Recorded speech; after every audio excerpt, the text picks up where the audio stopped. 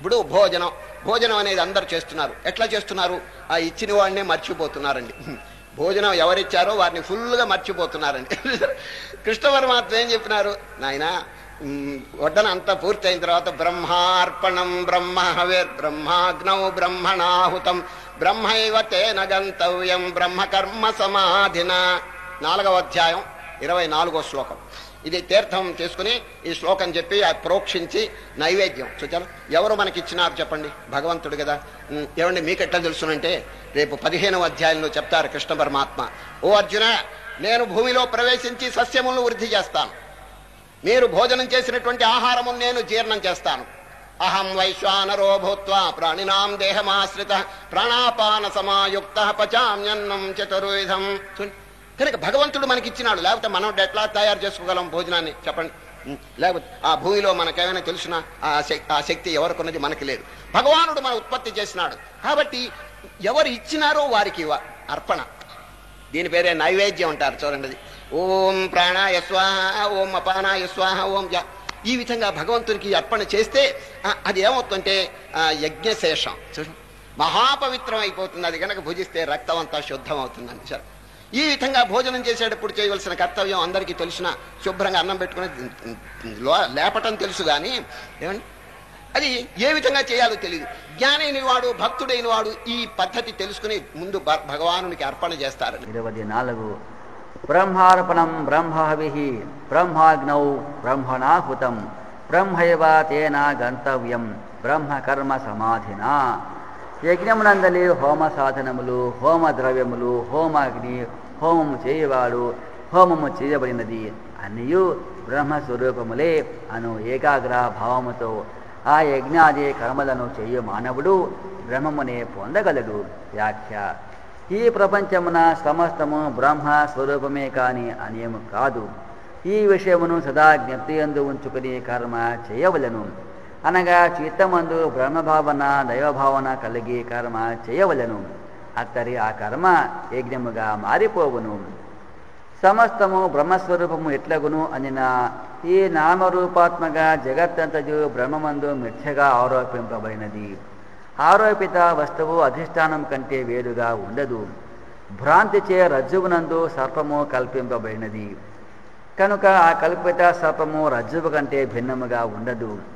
రజ్జు స్వరూపమే అగును. అట్లే అజ్ఞానముచే ఈ జగత్తు భ్రమమందు ఆరోపింపబడినది. ఆరోపిత వస్తువు అధిష్టానము కంటే వేరుగా ఎన్నడూ ఉండనేరదు. కనుక ఈ జగత్తు కూడా బ్రహ్మ స్వరూపమే. జగత్తునందలి ప్రతి వస్తువు ప్రతి కార్యము బ్రహ్మ స్వరూపమే. ఈ సత్యమే ఈ శ్లోకమందు నిరూపింపబడినది. ఇచ్చట యజ్ఞమందలి హోమమను క్రియ దృష్టాంతంగా గైకొనబడినది. పూర్వకాలము అందును ముఖ్యముగా ద్వాపర యుగమున యజ్ఞయాగాదులు విరివిగా జరుపబడుటచే హోమ కార్యము అందరికీ తెలిసిన విషయమే ఉండుటచే దానిని ఇచ్చట భగవానుడు దృష్టాంతముగా తీసుకొనిది దీనిని బట్టి ఒక్క హోమమును గురించి చెప్పమైనప్పటికీ సమస్త కార్యములు కూడా ఆ ప్రకారమే ఊహించుకొనవచ్చును. ఇచ్చట హోమము చేయు యజమాని హవిస్సు అగ్ని అన్ని బ్రహ్మస్వరూపములే అయినట్లు ప్రతి కార్యమందు చేయవాడు చేయబడినది అనవి బ్రహ్మ స్వరూపములే వెయ్యేల సర్వం కల్పితం బ్రహ్మ అని ఛాందోగ్య ఉపనిషత్తు చెప్పినట్లు ఈ సమస్తము బ్రహ్మమే అనుభవం కలిగి జగత్తునందు మెలుగువాడు ధన్యుడు. సమాధిన అని చెప్పుటచే ఏకాగ్ర చిత్తముతో అనగా బ్రహ్మభావము తొలగక ఆయా కర్మను ఆచరింపవలను అని ఉద్బోధింపబడినది. అత్తరి కర్మ కర్మగా ఉండక ధ్యానముగా సమాధిగా మారిపోవును. కర్మ ఏ ప్రకారము జ్ఞానరూపముగా పరిణతి చెందగలదో ఆ పద్ధతి చట తెలియజేయబడినది. బ్రహ్మ భావముతో ఏకాగ్ర దైవ భావనతో కర్మ చేసినచో ఆ కర్మ తన కర్మత్వమును కోల్పోయి జ్ఞాన రూపమును సమాధి రూపమును పొందగలదు. ఈ ప్రకారముగా సమస్తము బ్రహ్మమే అను నిశ్చయం కలిగి అట్టి బ్రహ్మ భావనతో కర్మ చేయవాడు పొందు ఫలితమేమి?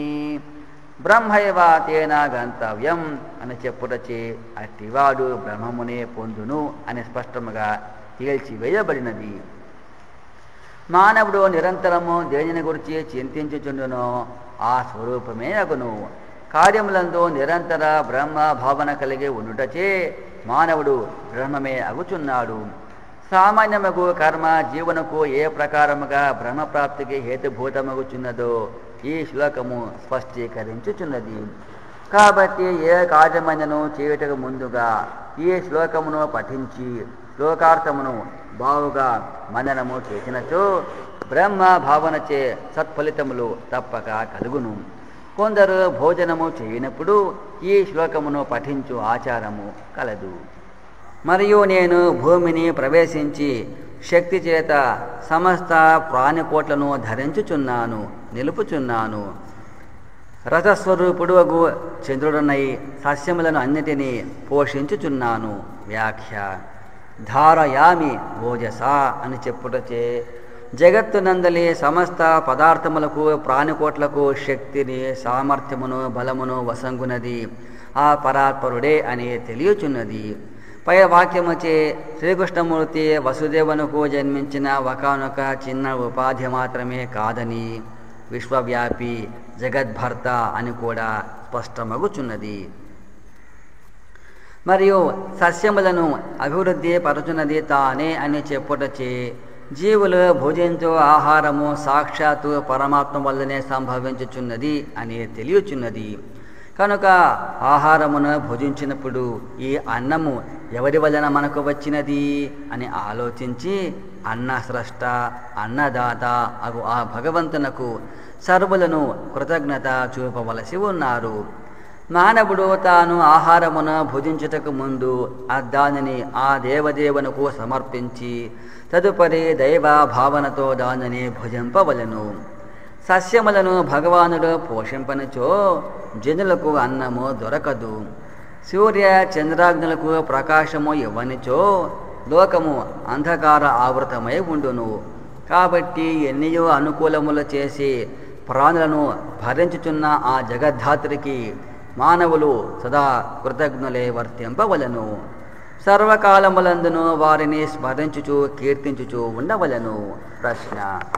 భగవానుడు ఏ ఏ ప్రకారములుగా ప్రజలకు మేలు చేయుచున్నారు? ఉత్తరము. భూమి యందు ప్రవేశించి బలముచే సమస్త ప్రాణులను భరించుచున్నారు. చంద్రుడై సస్యములను అన్నిటినీ పోషించుచున్నారు. ప్రశ్న. కనుక జీవులు ఏమి చేయవలను?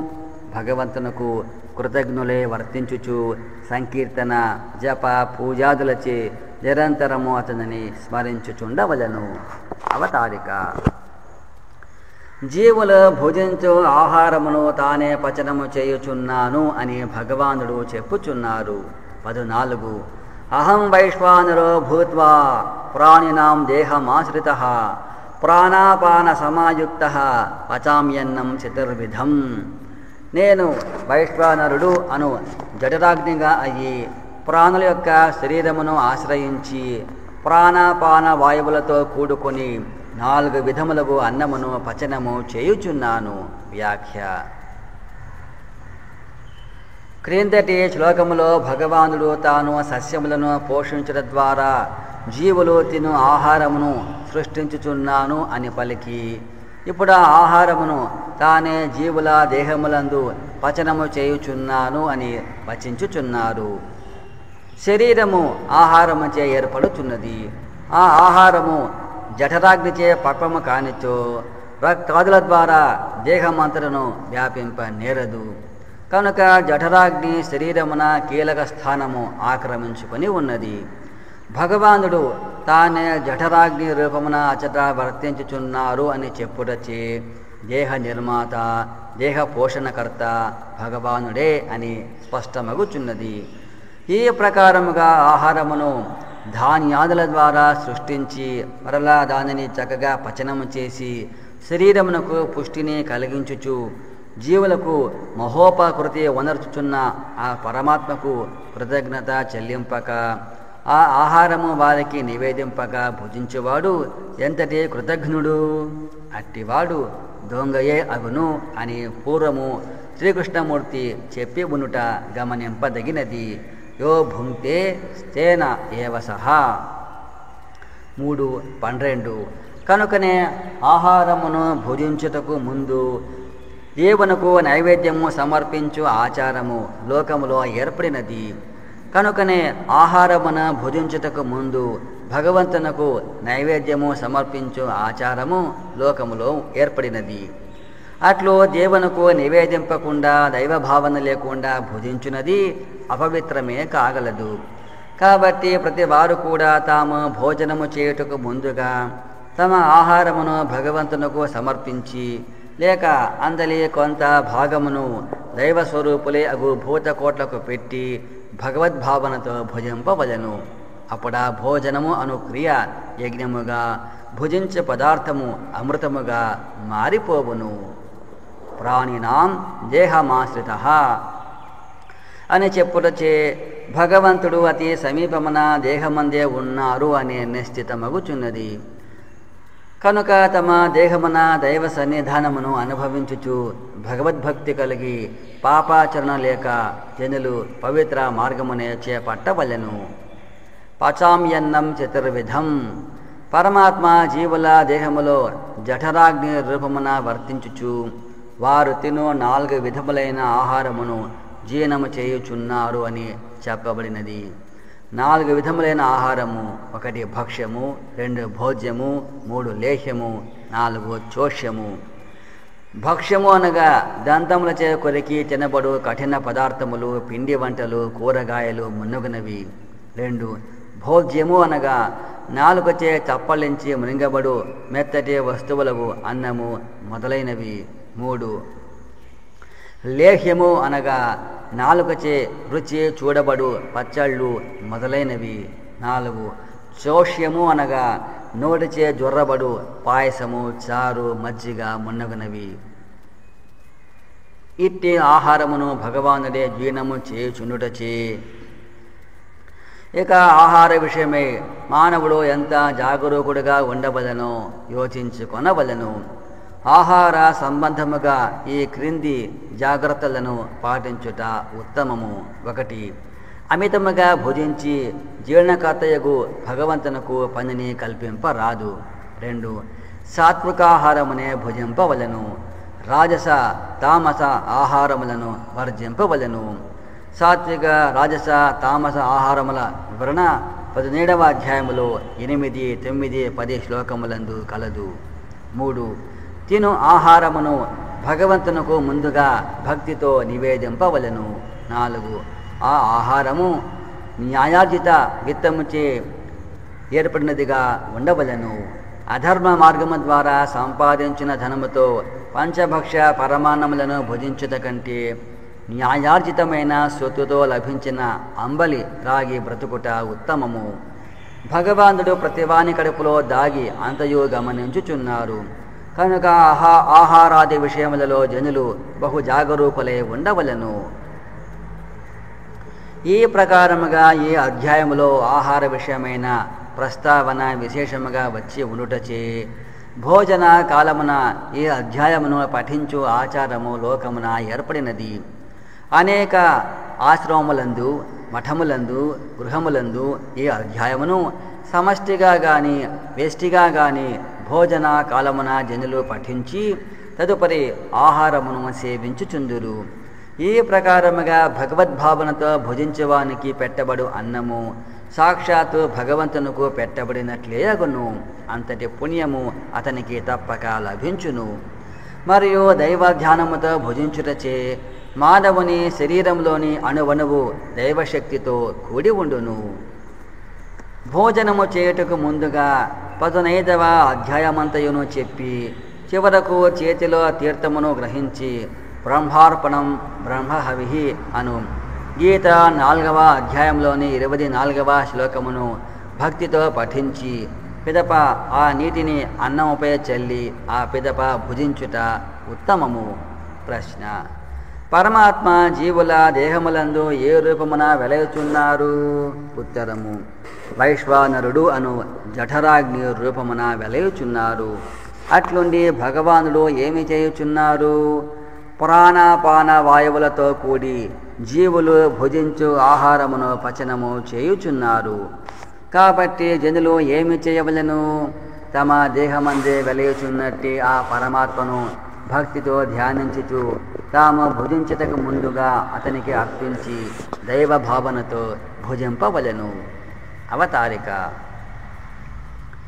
సకల జీవుల హృదయములందు తాను వెలయచున్నానని అన్నిటికీ తానే ఆధారభూతుడు అని భగవానుడు తెలుపు